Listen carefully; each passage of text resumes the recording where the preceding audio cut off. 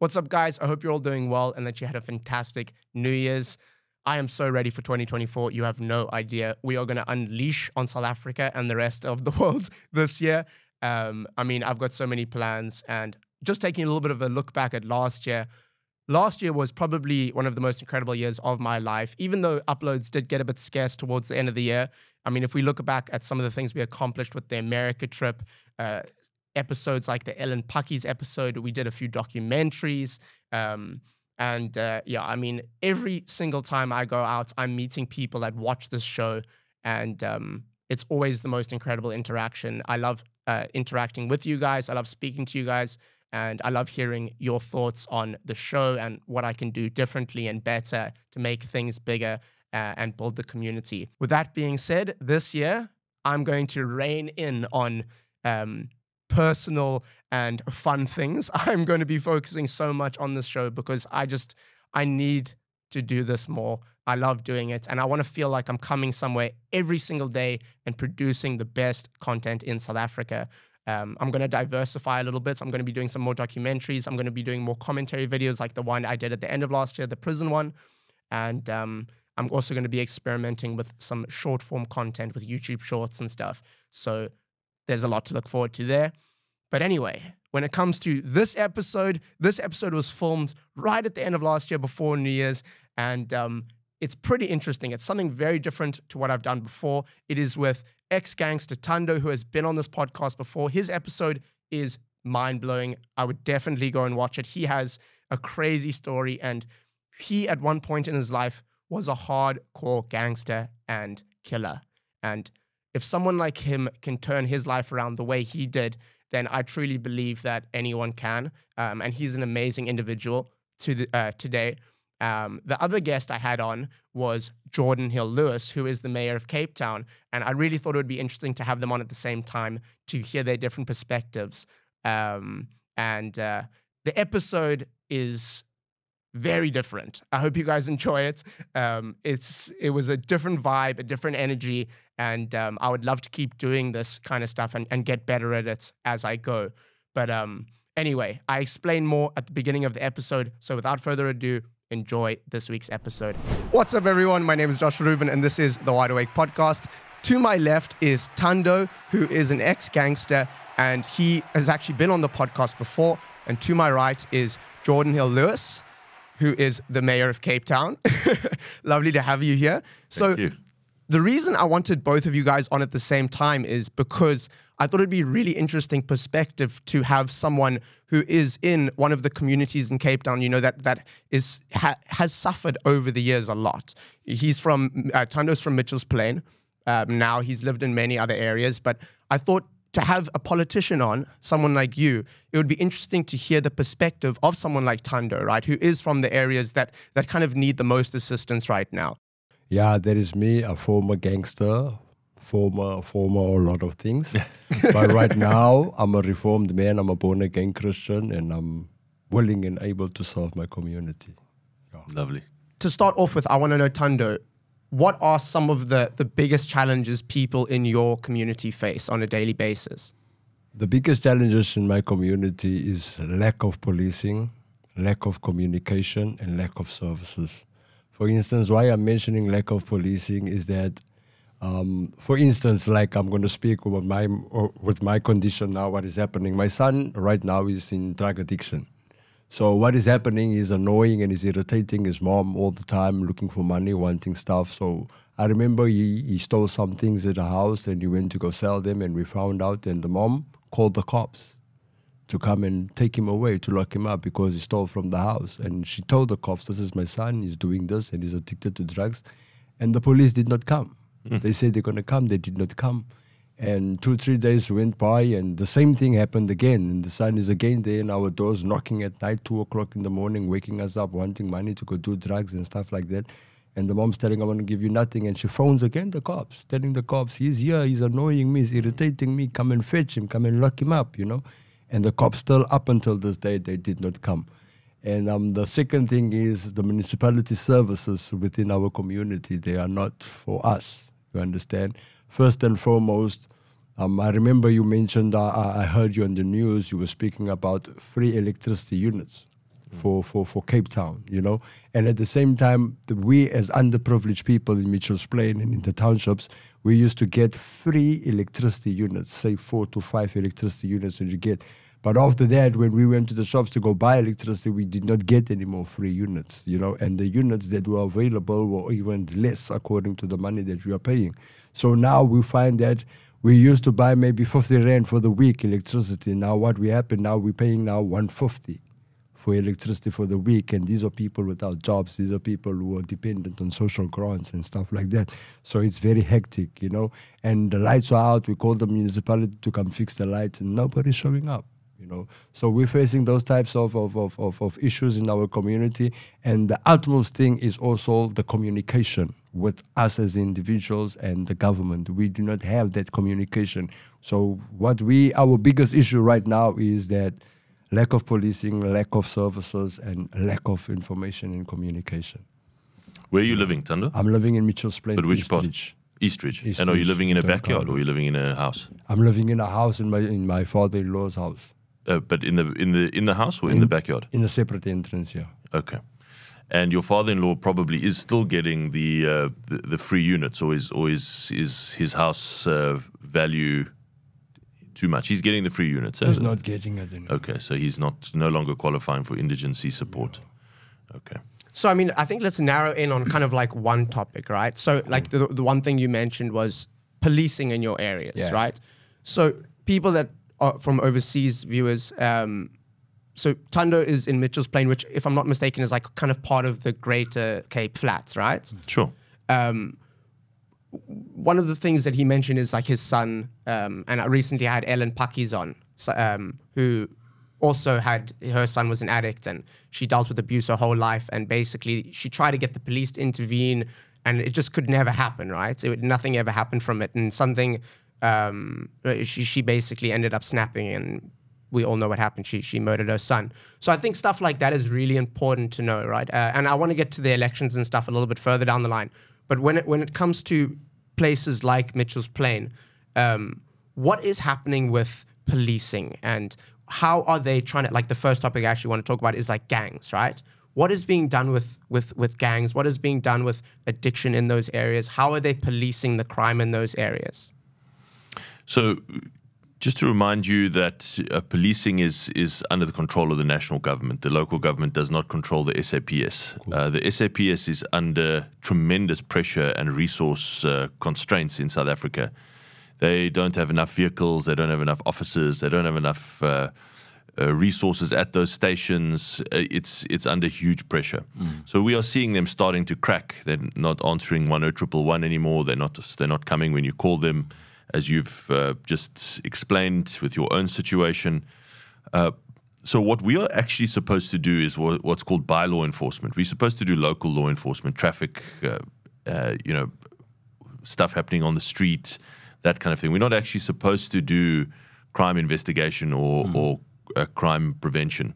But increasingly across the country, local law enforcements in municipalities have had to step into what the SAPS used to be able to do, which is patrolling, uh, responding to crime calls.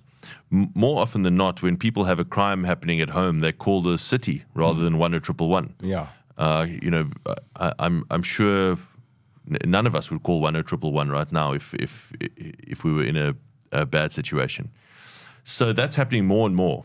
Uh, so we have tried to pick up the the slack left by the SAPS. And let me just say, uh, Josh, there's lots of great SAPS members.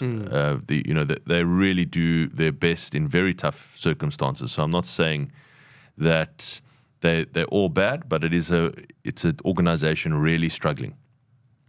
We try to pick up the slack by uh, adding our own officers onto the streets, uh, particularly in Mitchell's Plain, in in Delft, in Wallacedene, in Nyanga, in Crossroads, where you where you grew up. Uh, so we've put 1,300 extra officers into uh, 10 or 11 of the worst crime hotspots in the city, and they are making a positive difference.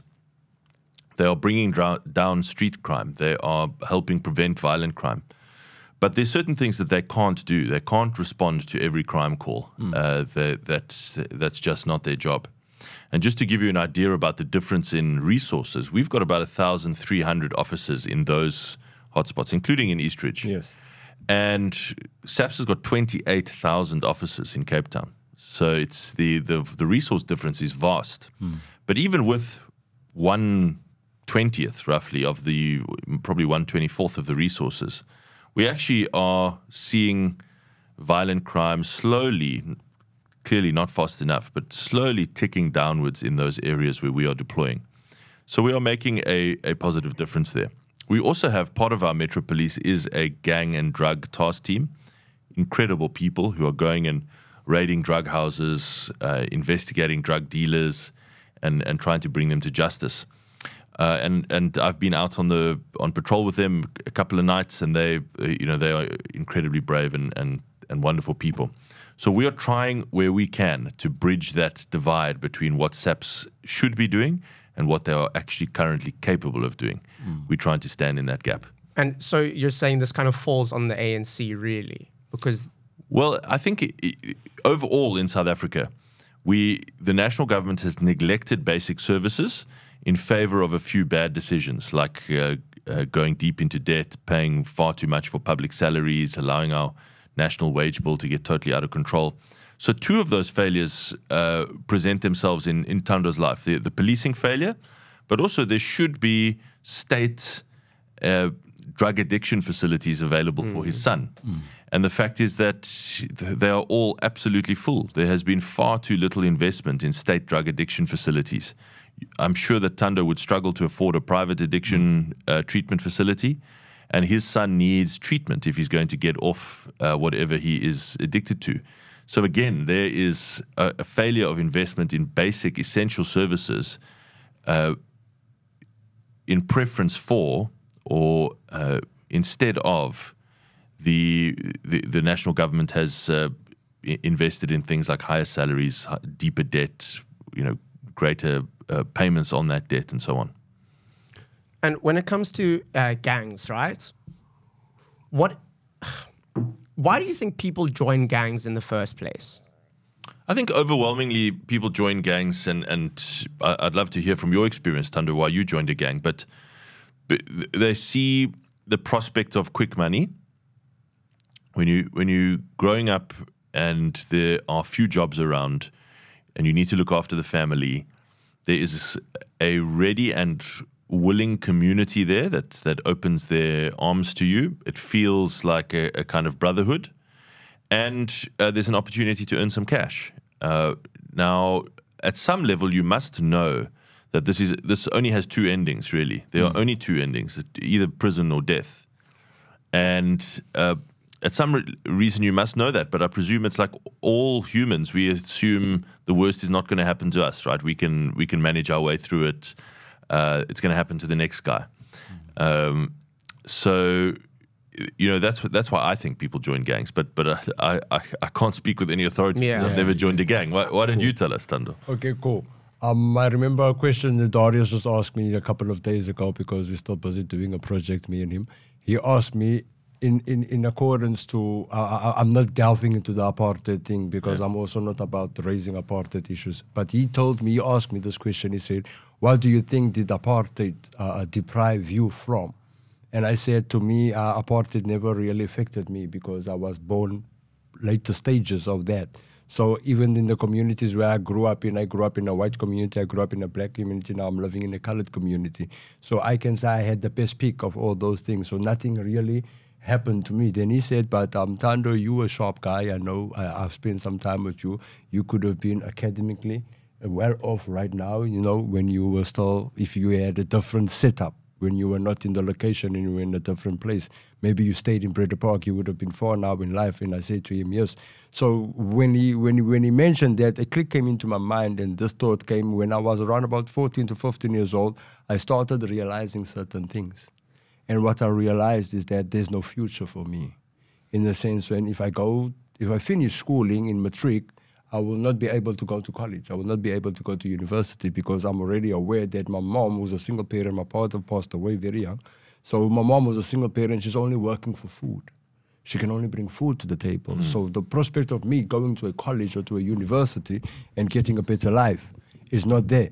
And that's when I chose a life of crime. Mm. And choosing the life of crime is, is the mindset is maybe you can, as you mentioned now, it's not going to happen to me, but I'm looking forward to a sense of a manual breakthrough where I can maybe get some money and try to do some change. Do you understand? So those are the things that lured me up.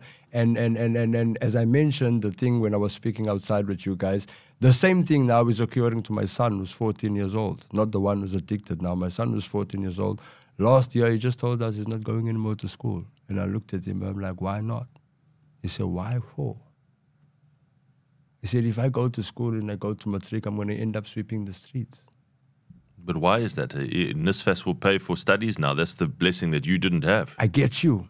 I get you, but we do not have that information. We see it on the TV, but we do not know where to go for it. We don't know how to get to that places. Do you understand what I'm trying to say? So that's why I'm saying there's the lack of information. We don't have those types of things.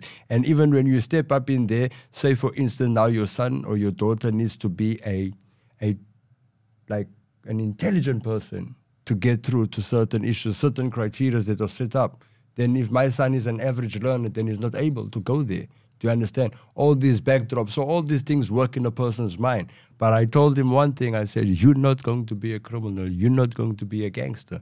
But up until this time, he's trying a business of his own. What he's trying to do now is selling some fruits, he's selling some stuff, trying to get some money. But he's helping in the house because he's also seeing there's a lack in the house. What I mentioned to to to to, to Josh and, and to your assistant, I said the same money that my mom was paying 1996 as a domestic worker is the same money that I'm paying right now as a domestic worker. I'm a cleaner in, in, at, the- at, the- in, in the plaza in town center. So my mom paid 1996 3,600 rand. I'm still paying 3,600 What he's saying is like the salary's not going up. You understand? Nothing is going, nothing's happening. So my thing that I was telling um, um, um, my, my, my, my friend here is that we as underprivileged people are being violated from every side and we do not know where to turn to. Nobody's looking after us. Nobody's coming forth to us trying to assist us where we are. We know there are laws that have been stipulated that certain uh, um, criteria of work needs to be paid certain amount of money, but those things are not happening. They're just on the black and white. You know, then you get um, um, um, like my bosses. My bosses are very good people. Last year, they could not even give us a bonus, or they took it out of their money and they gave us a bonus. Why? Because the people they're working for are not giving them maybe an increase. So there's, there's there's there's no certain So you're kind of saying like people join gangs because they don't see the future, right? Hopelessness. Hopelessness. and they yeah. also just hopelessness, right? And um, I think the the other thing is also a lot of people that come from your areas. I don't know your situation. I don't remember exactly what you said, but um, I know a lot of them come from like one parent homes, and uh, a lot of them. Uh, maybe the parent was using substances while they were pregnant. So, uh, like someone like me, right? Uh, I didn't even finish school, and I had like all of these privileges.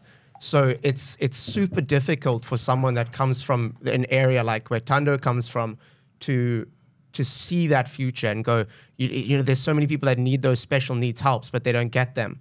Um, and I certainly got all the help I could like I could get, and I still couldn't get there. Right.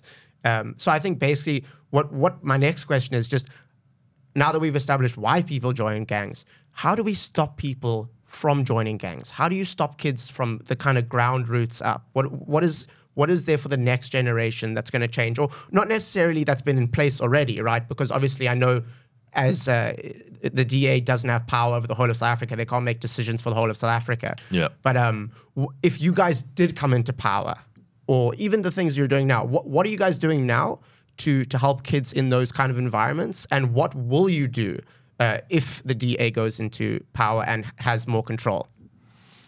So, the, I mean, the most important answer to your question is to address what Thando says is the root cause, and that is hopelessness. If you can give people a reasonable prospect that their future can be better, then they will stay in school. They will make better decisions about about their lives because they will see something for for the future. And that's what we are trying to do in Cape Town. That really encapsulates our entire uh, vision and mission in Cape Town is how, how do you give people a real sense that the future is going to be better? Not that you can solve problems instantly overnight, but that you can make progress. You can you can move forward. So when we see, just for example, last week uh, we got the latest jobs numbers from Stats South Africa. Cape Town has created more jobs than all other, all the other seven major cities in South Africa together. Uh, 250 something thousand new jobs between this time last year and now. Uh, that's 250,000 people, many of whom are in Thando's position or even worse off because they don't even have a, a minimum wage job, who have got work for the very first time ever. Maybe they've they've uh, been looking for work since high school, since matriculating. They've never got it, and they have it now for the first time. So that's the kind of thing that excites me because those are 250,000 people that see a better future. Their kids see a better future because they can also mm. uh, hopefully get work after after school. So unemployment here is still 23 or just under 23, 22.5%, I think now it's by far the, it's 10 points lower than anywhere else in South Africa, but it's still far too high. If, if this was any other country, 22% unemployment would be a big failure. Would be a big failure in and of itself. So we still have a structural unemployment crisis in our country. It is not being helped by the fact that we we, we can't get load shedding right. We can't get the trains working. All the fundamental basic services that actually make an economy tick over and absorb people who are desperate for work None of those things are happening in South Africa. Mm. So when we talk, you hear me talking in Cape Town about we're obsessed with uh, stopping load shedding. You might think, well, this is just about load shedding. This is just about uh, you know middle class people who want to cook, dinner or whatever, and, and don't like the inconvenience of of not having a working stove. There's a lot more to it than that. There's a lot more to it. It's actually fundamentally about Thando's story. That's what it's about. It's about making sure that our economy can grow much faster 250,000 could be 500,000, could be 750,000. If we could actually have an economy that, that has the basic fundamentals required to grow. Mm. We don't have that in South Africa because of all of these catastrophic failures. Those are, those are the things that we are trying to address here. Can I quickly interject? Um, I hear the mayor speaking about the jobs, eh? and it's a good initiative that you guys did. But I also want to bring this also to light, you know, in the reality that we're facing you know, the EPWs, they're giving the three month contracts. Now, the three month contracts are like short term. Because at the sense that the person is not working maybe for three years or maybe for five years, it's mm. not working, then a person gets a contract for three months. And the contract they're getting for three months, the money they're getting for the for the work that they're doing is just enough to put food on the table and to pay the rent. As I mentioned to Josh and to your assistant, is that where we stay, we stay maybe in one house, then you find that in that one house there's like five families. Yeah. And in that five families, you find that none of them are working. Do you understand? Because of the lack of employment. But now they're getting these EPW jobs and they're working for these three months, and that three months is not enough for him to sustain his family. Because you understand, while he's getting the job, he needs to get to his job. How is he going to get to his job? He doesn't have the money, so he needs to go lend. So now the people of I said to you, we are being violated from every area. The people are being violated by people who have a little, they're violating them. And also where we're working is being a violation. So my thing is this, uh, here in Cape Town, I'm talking now Cape Town, I'm not talking the whole of South Africa, we actually need uh, uh, uh, um, government officials who are investing in taking care of the underprivileged people, in fighting for their rights and making them know for their rights. Are people who will do walkarounds, people who will go to companies who have employed people and get the understanding of what is happening, how much are you paying these people, all these types of stuff. Because at the end of the day, the people work for three months and after three months they're not working and they're not going to work for two years. So where they're going to go again? You take another other people. But let me just correct you. The 250,000 jobs I'm talking about are not EPWP contracts. Okay, cool. These are proper jobs. Cool. These are proper jobs created in the real economy, uh, not government jobs. We, sure. There's no way that we can afford to employ 250,000 people. Cool. The city does a EPWP program, but it employs about you know 25,000 people. Uh, and on those rotating short-term contracts, mm-hmm. as you say, that is that's the way the law works for EPWP. They're not allowed to be permanent uh, employments but it's a tiny number. Mm. We are creating jobs in the real economy. In Mitchell's Plain, 3,000 3, new uh, jobs at a call center in Mitchell's Plain. Uh, Mitchell's Plain is increasingly becoming a hub of call center investment in the city, mm-hmm. thanks to the work that we are doing to attract call centers to Cape Town. But I must say, those jobs will overwhelmingly benefit people who have finished school. Mm-hmm you, you, there has to be there has to be both a responsibility of the state to drive economic growth and investment, and a responsibility of residents and the public at large to make the decisions that put you in a position to benefit from those opportunities. So in South Africa, there is a huge shortage of jobs for totally unskilled uh, workers who don't who don't have uh, a, a school qualification. There's a huge shortage, and it will be a very very long time before there is job generation in the economy to absorb totally unskilled uh, uh, workers. So when you are bringing call centers, for example, most of those international call center companies will only interview people who have got a matric. Mm. Uh, and then still they've got to do a whole lot more training as well on how to use the computer and how to uh, you know do all the things they yeah. do in a call center. So there's it's important that residents put themselves in a position to benefit from a growing economy and the opportunities that brings, and not only see the only job opportunity as as uh, EPWP work because that's firstly a tiny number, and secondly, as you say, not sustainable. Do you see a South Africa where no one is living in a shack one day? Do you think that is possible? No, I'm afraid not. Uh, I have to be honest with you and, and with your listeners. With the, the government has built two million houses since 1994, just over two million and the waiting list is longer now than it was then. Uh, and it's getting longer every day. The waiting list in Cape Town alone is 600,000. Uh, we can build, remember, our, our, we build a lot of houses, but it's funded by a national housing grant. Uh, and that grant has been shrinking every year. Uh, our grant now is half what it was 10 years ago. And that's true across the country. Again, those, those choices that national government's making more salaries, uh, you know, whatever, more VIP protection, more debt, less basics. And that's the choice that we've that, that our national government has made in South Africa. So those grants are declining every year. We've just had another 137 million rand cut from that housing grant. Uh, you may have seen I've, I've I've tried to make an issue of that publicly because the the country's in a in a financial crisis. Instead of cutting the obvious things that we need to cut, they've gone and they've cut things that, that benefit poor people, like mm. like housing grants. Mm. Unacceptable. Um, so so we will we will carry on building, but at the moment we can build about three thousand units a year in Cape Town. Jeez. I mean, the provincial the, government yeah. does a few more. Maybe they do another 3,000, the provincial government. Maybe the national government, they hardly do any, but let's say the national government does another 500 in Cape Town. So that makes 6,500 in total per year. I mean, more people are moving here than. that's how many people move here in a month. Not actually more than that. Pe- that's the people we know of that move yeah. here in a month. Yeah. So this is this is. Uh, it's not even like we are running on a treadmill because when you mm. run on a mm. treadmill, you stay in the same place. We are mm. actually moving backwards. Mm. So we've tried to shift focus and say we are not going to get everyone into a free what we what we call RDP house. Mm. That's just not going to happen. What we've got to focus on is much faster delivery of what we in Cape Town called social housing, which is rental rental apartments. So I've I've really tried to focus my government on the RDP houses will continue to happen in the background, but how do we unlock much faster social housing development uh, where you can get many more thousands of units? People pay for those units, they pay a, a subsidized rental, uh, but that rental starts at 700 Rand and it goes up to about uh, 4,000, depending on your income.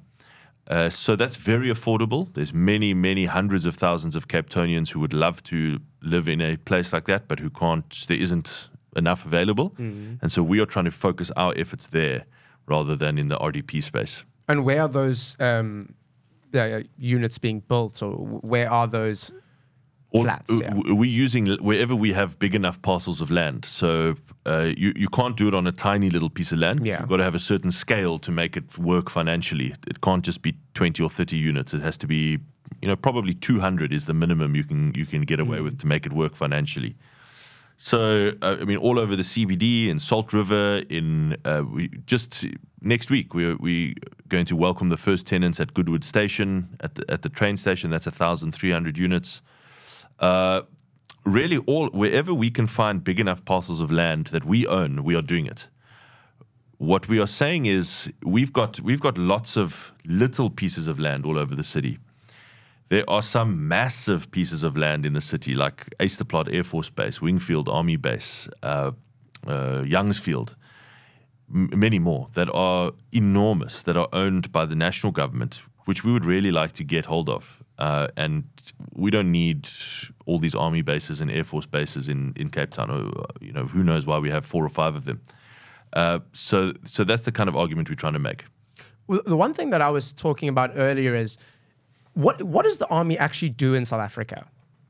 Well, I mean, some of it is very important work. It's I think it's two most important jobs at the moment. Three.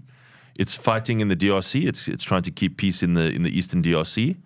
It's fighting Al Shabaab. They're in the Congo. In the Congo, yeah, yeah. They're deployed in the Congo right now. South African military. Yeah, for years they've been. Why though?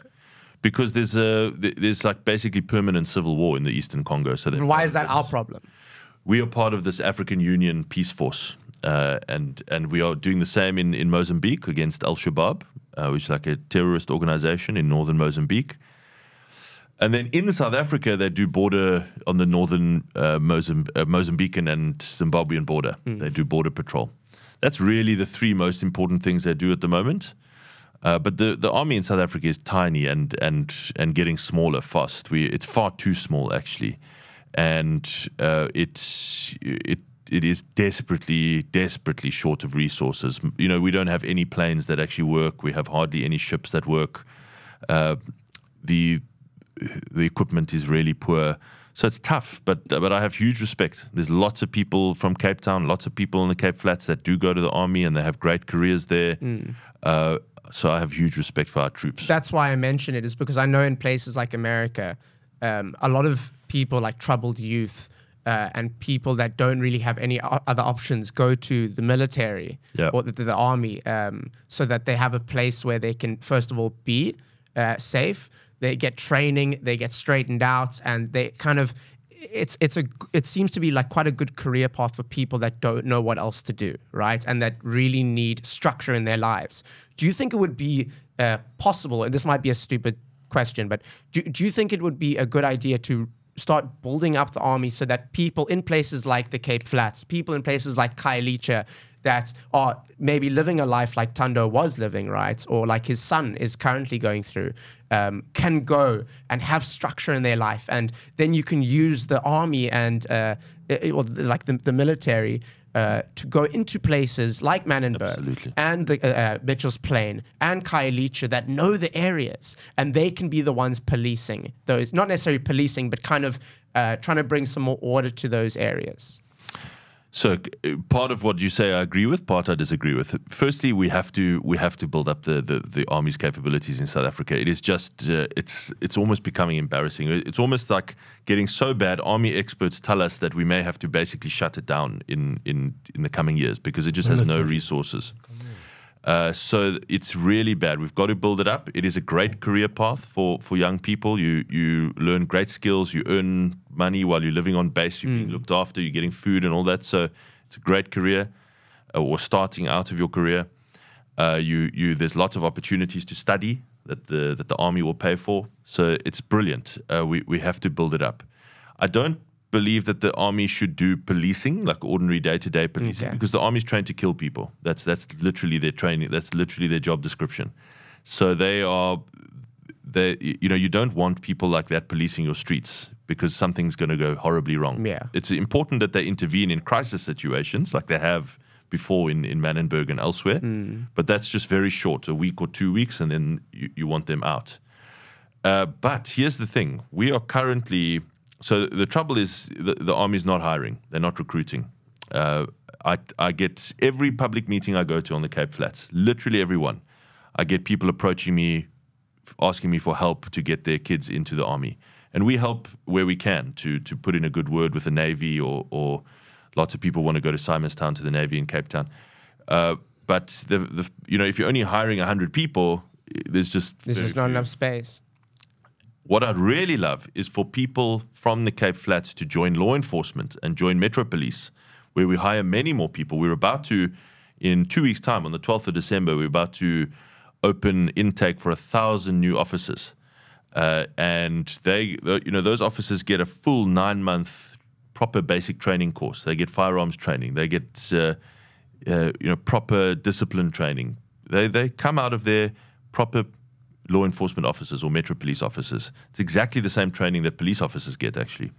So I really encourage people to apply for that. you'll you'll you'll be amazed, Josh and and Thando, that very often we open the doors for a big law enforcement intake, and uh, you'll hard you won't find enough applicants from the Cape Flats. Uh, That's very surprising because It it's quite. A, it's quite. yeah. From what I've heard, it's, it's a great job. It pays quite well. It does. and there's a lot of benefits for when you retire as well, right? good pension, good medical aid. Uh, you know, it's it's a great. I think it's a great uh, a great career. So I really encourage people. We, we're about to open the doors in a couple of weeks. Amazing. Can I can I just ask something? If not asking, just just to add something, Hmm. um, utilize or utilize the, the, the, the frequent places by people. The libraries and shops and Place that information there. The reason why you're getting such few intakes is because many of the of the of the opportunities are digital. Now, many people where I am, as, as Josh mentioned, no Wi-Fi, no kinds of stuff. Mm. They don't even have data to keep on WhatsApp. You understand? So those types of things. What I'm trying to say, when when when you think in that span, don't just think where you know. Think also where you don't know. Under, in the sense of we know paper is, is is going away because we're in a digital place now. But bring in the paper also. Send in the flyers. Put on mm. the pamphlets Posted everywhere. yeah. post it so that people can know. Mm. Because I'm telling you, many kids they they want to become policemen. Mm. They want to become law Law enforcement. yeah. But it's just the information. You know, I, I- I was speaking one day. I'm saying, you know, people. I was speaking with my cousin, telling him I'm going to do this with you, and he said, please tell the mayor this. Tell him that they must not speak about us. They must speak to us. So I want to kind of just skip over to the elections, right? Because I know we're running out of time here. But um, how have the registrations gone so far with the elections? I know they just opened up this week, right? This weekend was a national registration weekend. Yes, yeah. And how did they go so far? The indications that we've seen are, are, are quite positive. Obviously, you've got to do some detailed analysis about uh, uh, what were the age of the people that registered, where did they register, so on. So we, we're still working through those numbers. But from the initial evidence we've seen, it looks like some younger people registered more than usual. That's encouraging to It see. said 78% of new registrations were citizens aged 16 to 29. Yeah, so that's that's super. Obviously, that's really encouraging because usually that category is just not interested at at all. Uh, then it looks like uh, you know the the a lot of people came to DA uh, tables uh, at the at the registration weekend, so that also looks positive. Uh, so yeah, we've got six months to go. We'll see, but but early indications are positive. And why do you think the ANC has been able to hold power for so long? I mean, it's kind of getting ridiculous in a way that it's nothing has changed in South Africa. Well, no, a lot has changed. It's got a lot worse, right? Things are just going backwards. Why do you think people are so set on keeping the ANC in power? Why have they stayed in power for so long? Well, I think the, the ANC support is collapsing. Uh, it's really falling off a cliff. Uh, so I, I don't think that that will be the case for much longer. But the ANC is a very durable political brand. It is probably the most famous political brand in the whole planet. Uh, it's you know it, it, it had one of the most famous people in history as its president. It uh, there's a whole lot of of still emotional connection with lots of people because of its role in in uh, apartheid. So th- that takes a long time to wear off, and this is very common, by the way, in in post liberation democracies. If you look at India, if you look at Mexico, uh, you you see all of these post-liberation countries, you see that the Party of Liberation takes a long time to to to fall apart, but it always does. It always does. In Zambia, the party of uh, Kenneth Kaunda, take a guess what that party gets today in Zambian elections. 2%. One percent. One percent. This is the you know Kenneth Kaunda was the Nelson Mandela of Zambia. Uh, the so I, I have no doubt in my mind whatsoever that the ANC will go the same way. Uh, I think probably in all of our lifetimes, uh, Josh and Thando, we will see the ANC as a as a minority party in South Africa because it has messed up so shockingly. It has messed up beyond beyond a disgrace, and so many people are paying the price for that in their lives and and uh, lost opportunities. So, but it, it it does take time. The longest, I think, Mexico was the longest, which took seventy years, seven zero, for the Party of Liberation to be kicked out of office. Uh, India was very quick. I think I think South Africa will be the quickest yet. Uh, it- it's either going to happen in May or, or or they might just just just hang on to it, but uh, it'll be their last time. And what's the goals? What What is the DA's goal for the 2024 elections? a political party's goal is always to grow. It must be. Uh, it's uh, a bit like, you know, you've got to move forward.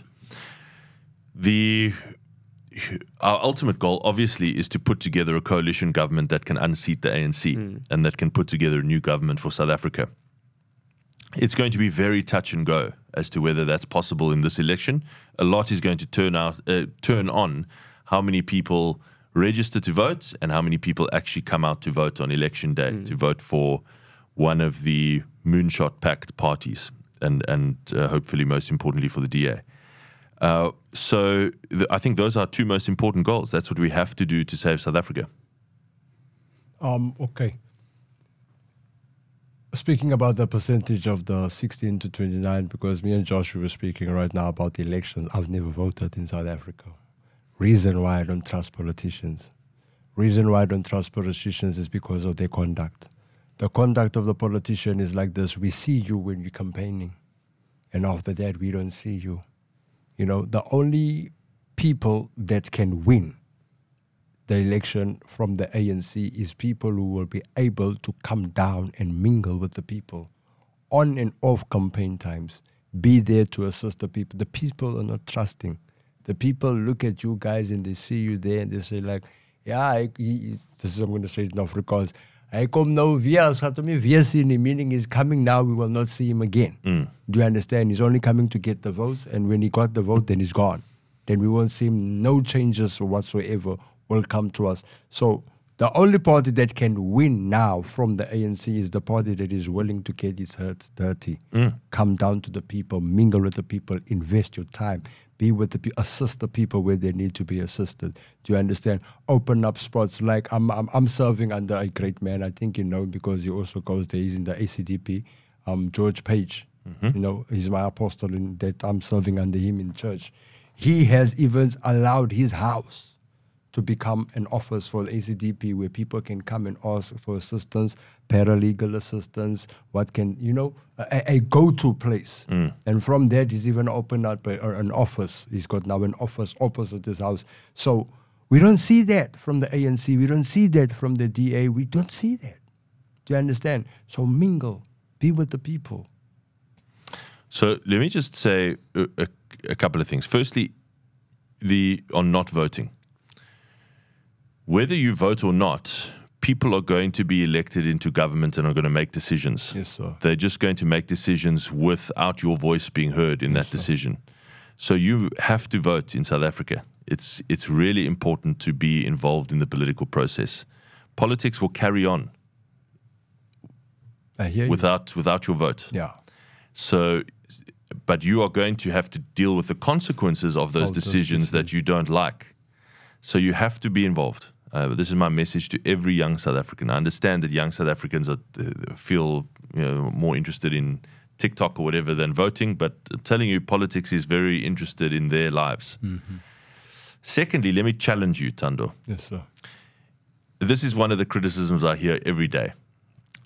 Every single uh, month since I've been elected, I go do at least two public meetings around the city a month.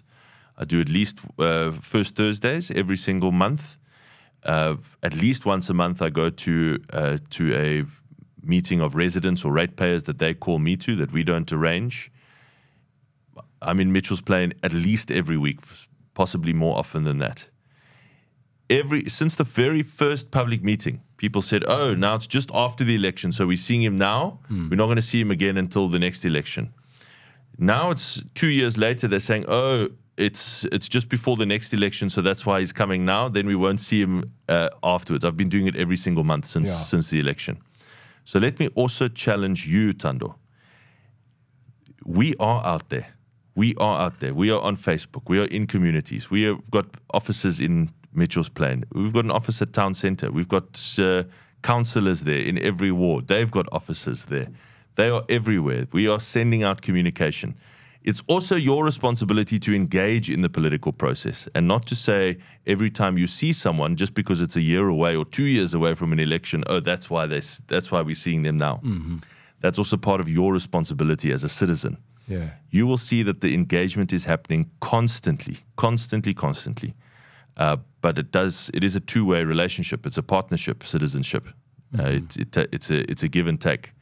So I think the problem is people aren't being inspired to take place. Where, like you say, you go into the communities and that kind of stuff, but I find it very sad when the Springboks can, you know, uplift and get people so much more motivated than our politicians can. And I think it's because people. It's, I'm just so also sick of hearing politicians using jargon, and it's just like just speak as a person. We don't need someone going the RDP. The, you know what I mean? Just go in and speak to people like they're people. And I think that's why when it comes to like the Springboks, right? We look at them almost like the saviors of our country, which is so freaking sad that a rugby team has to be that for us, right? I mean, I've never seen South Africans so positive and so united um, as when they won the 2019 and the 2023 World Cup, right? How can we get people to go, I'm going to rock with the DA or I'm going to rock with the ANC? How can we go? I mean, I see it. At, I see it at the EFF rallies. They're going crazy. but how can you get people to be excited about the process? Because why should someone want to go? Like you say, you go to the communities, right? Um, but it's like, what are you just? Are people just talking? Like, what what is going on? How do you get people to go? I really want to be interested in politics. Because even me, I'm not. I wasn't interested until I started this this podcast, and then I, I know how important it is, right? But how can you go? Get people to go, I really want to be part of this because it looks like it's going to really benefit me. Mm. And the, the, the person that I want to support is actually going to get into power and make real changes and not just go, it was the we can't do anything because it's the people that came before us that kind of messed everything up. So now we can't do anything. You know, we're, we're we're suffering from the ills of our past. I don't think uh, any politician is ever going to get the public excited as as excited as the Springboks, and that's probably a good thing, by the way. You don't want politicians to be cults of personality. You want politicians to actually be public servants. P- uh, politicians should not be, uh, you know, whipping up crowds into frenzies of, No, of not emotion, frenzies, like like uh, like we see the one, the one party that you Yeah. mentioned. Uh, I think that's kind of almost dangerous in a democracy uh, it's great to to kind of worship our rugby team. I, I, you know that's fine, but we shouldn't be doing that with with any people uh, who are st- who are public servants. But let me again, there are lots of people interested in the political process. They are, our public meetings are are, are fully packed.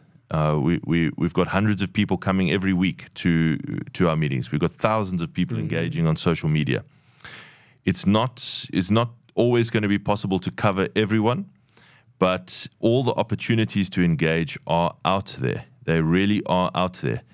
Uh, we've got we've got councillors in every single ward. We've got branches, branch committees, you name it. We do have to. Residents have also got to find those opportunities to plug in. I think just to end off, right? I know you need to go.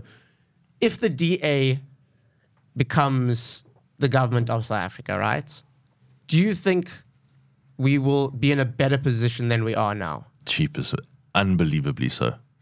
Unbelievably so. The- If we if we could get this economy growing at five percent a year, which I absolutely believe is possible. At the moment, it's growing at less than one percent, and even that is frankly miraculous.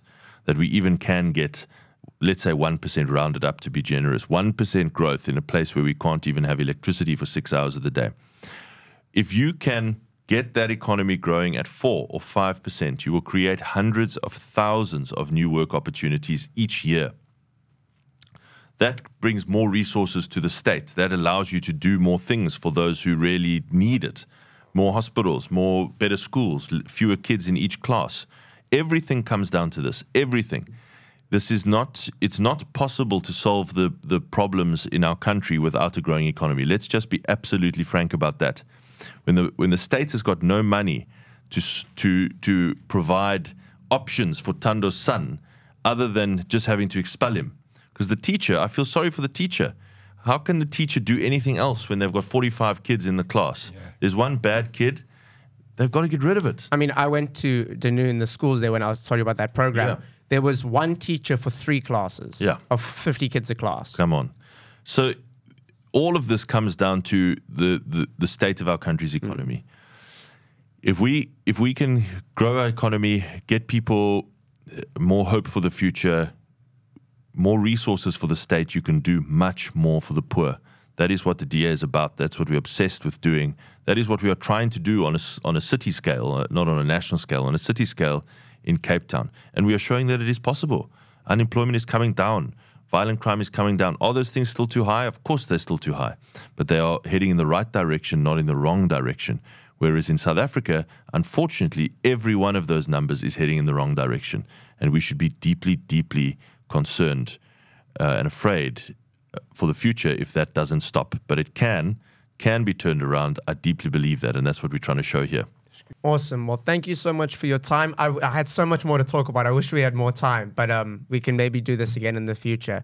But uh, I'd love that. yeah, I just wanted to say thank you so much, Thando, for coming on. Thank you so It's Thank you, really Thando. That was a great conversation. Thank you very much, Josh, and, and of course the listeners. it's a pleasure. And thank you all for watching. I hope you enjoyed this episode of the Wide Awake podcast. I'll see you all very soon. Cheers.